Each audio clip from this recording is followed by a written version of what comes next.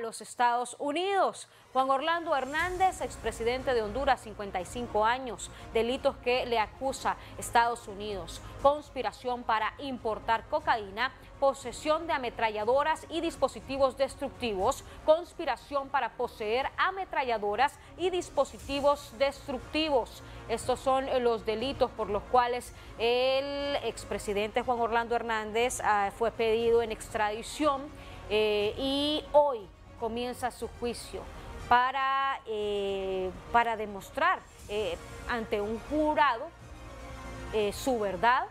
El jurado determina con las pruebas de la fiscalía si es culpable o si es inocente.